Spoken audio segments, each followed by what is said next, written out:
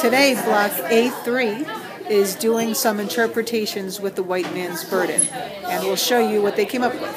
Six groups had to take stanzas and take the words and rearrange it to how they thought the poem would read without reading the poem first. So we're going to hear this in a minute, okay, guys? Okay. Two groups of three had to wreck the poem where they replaced five words with a different word. Is it slavery? Oh, they're freedom with slavery?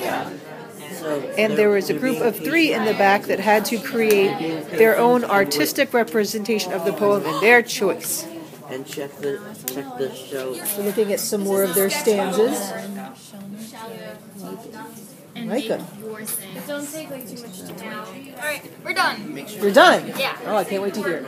First, here is our scrambled poem. Take in white vial and bind peoples to the half child. Breed your captives up on your man's new caught burden. Serve forth ye sons to serve the devil. Go to exile half flothered folk. Harness your best heavy need and wait sullen.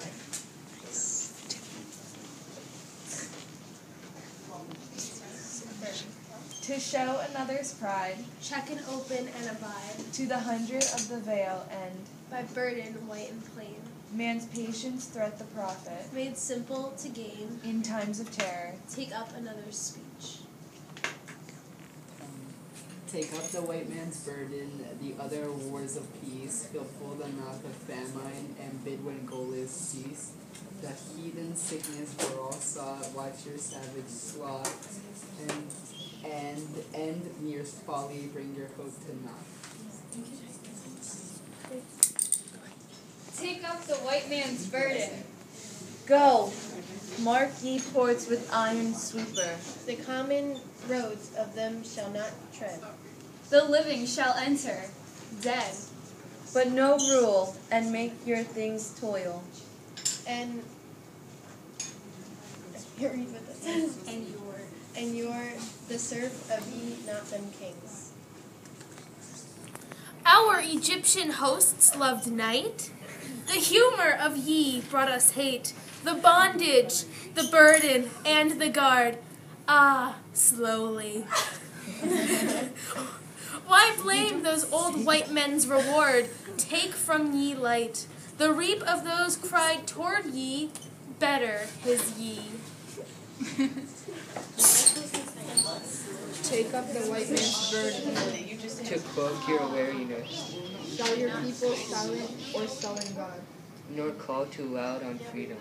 By all thy ye will whisper. But ye dare not stoop to less, and leave you. Ta-da! So there's our scrambled poem. Very nice. Now our two mashups. Our two, not uh, those were mashups. This is wreck the poem. Wait, what? Go ahead. Shh. Shh. It's quiet on this end. Okay. You can divide it up as you should. I'll do, I'll do, the first one. I'll do the first one. Okay. Take up the. Alright, take, uh, take up the white man's pride. Uh, send forth the best ye breed. Go bind your son to exile. To serve your to serve your brother's need. To wait in heavy harness on fluttered folk and wi- wild.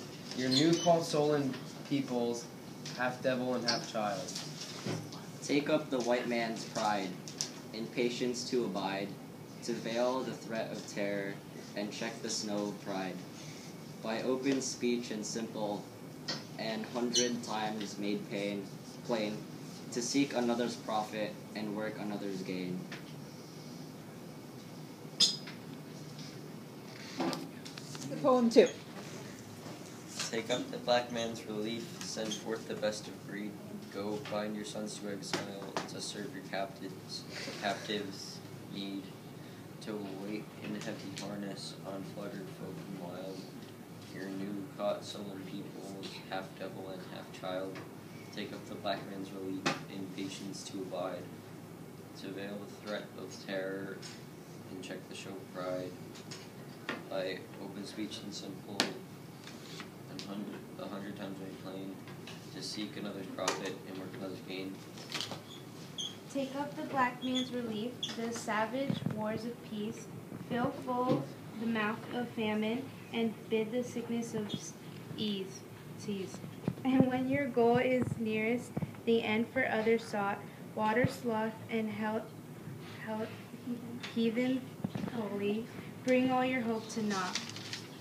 Take up the black man's relief, no iron roll of kings, but toil the serf and sweeper, the tale of common things. The ports of shall do enter, the roads of shall do tread. Go make them with your living, and mark them with your death. Take up the black man's relief, and reap his old reward. The blame of those of better, the hate of those of guard, the cry of hosts of humor. Ah, slowly toward the light, why brought of us from bondage our loved Egyptian night? Thank you. There's some love there. Yes. And artistic representation. If you can show this to the class and explain. Okay, so um, pretty much Listen up. Watch. what we are representing is the um, white man's burden. White man's burden, uh, half devil, uh, half devil, half child. We chose to represent the child by like an angel, but um, we had. So this is the the good innocent side, which we have. Uh, wait, no, this is the good innocent side. Um, we have them disgu- like disguised as a devil, like so they're viewed as the evil, but while this is viewed as like the good heroic side, but in reality this is the evil and this is the innocent. So, So- it's really showing the paradox, even on their own play Yeah. words, right? Um, so pretty much we like had like a headband with an angel halo, and then this one has a headband with a devil's horn, devil's horn, and then this has black and gray, and this is white, even though this is really the devil and this is really the angel. Well done. Show it to the class. They can all see it. Give everyone a round of applause.